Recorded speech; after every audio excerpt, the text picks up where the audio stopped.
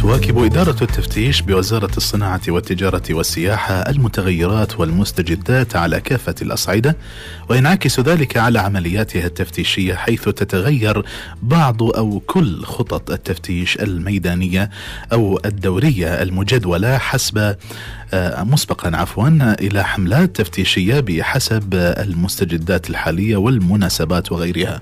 مع قرب حلول عيد الأضحى المبارك إدارة التفتيش لها دور بارز في الرقابة والتفتيش على الأسواق التجارية بكافة محافظات المملكة.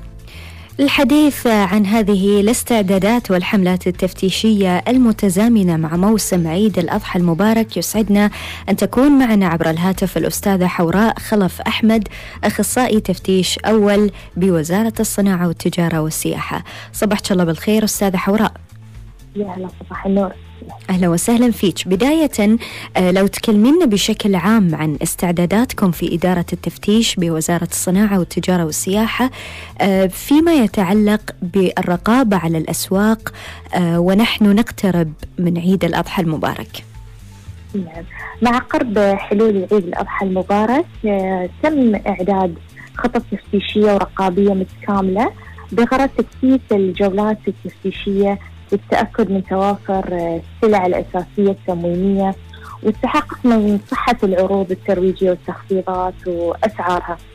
طبعا هاي الزيارات التفتيشية تتم قبل حلول عيد آه، الأضحى والاستعداد له وتمتد هاي الزيارات أثناء أيام العيد وما بعده.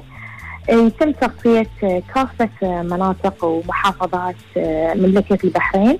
ومراقبة الأسواق بالأخص الأسواق اللي تشهد الحركة الشرائية مثل المجمعات التجارية والمطاعم والأماكن اللي يكون فيها إقبال خاص خلال الفترة اللي تسبق العيد نعم. وأثناء أيام العيد نعم أستاذة حوراء ما هو دور إدارة التفتيش أثناء القيام بالزيارات الميدانية وبالأخص أيام الأعياد والمناسبات والمتزامن مع تطبيق الإجراءات والتدابير الصحية للحد من انتشار فيروس كورونا؟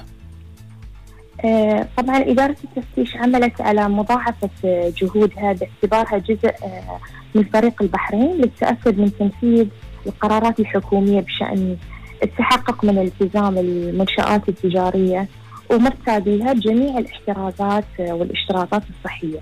للحد من انتشار فيروس كورونا. إضافة للدور الرقابي خلال الزيارات الميدانية اللي يقوم بها المأمورية الضبط القضائي إدارة التفتيش.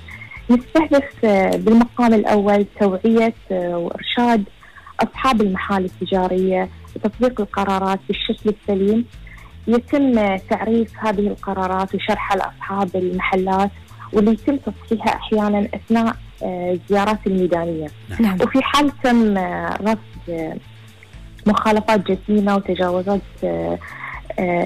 أكثر يتم تطبيق الإجراءات القانونية والإدارية المقررة ضد المحلات المخالفه. نعم.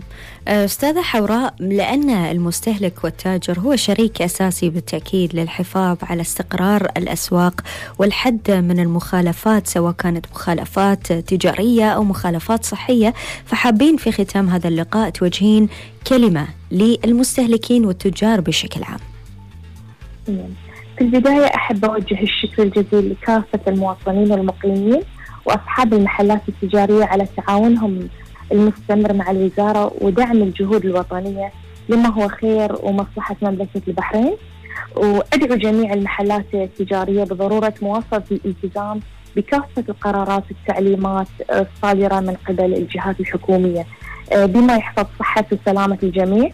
آه، كما أدعو المستهلكين بالإبلاغ عن وجود مخالفات أو ملاحظات بالتقدم لإدارة التفتيش عبر قنواتها متاحة يسعدنا استقبال الاستفسارات والمقترحات عبر نظام تواصل أو البريد الإلكتروني لإدارة التفتيش inspection at moic.gov.ph آه كما أدعوهم متابعة حسابات الوزارة عبر مواقع التواصل الاجتماعي الإنستغرام السناب شات MOIC بحرين لمتابعة تغطيات الحملات التفتيشية والرقابية على الأسواق والمحلات.